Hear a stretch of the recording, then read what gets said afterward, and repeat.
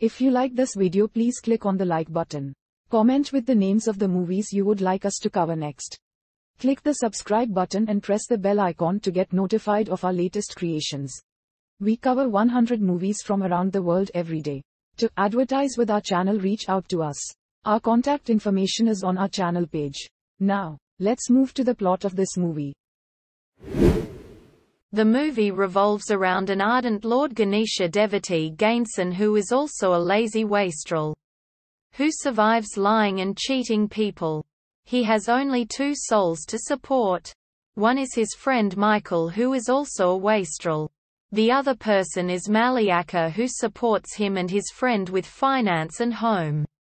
One day Lord Ganesha comes before Ganesan and questions his way of life. How Ganesan mends his way and realizes life forms rest of the movie.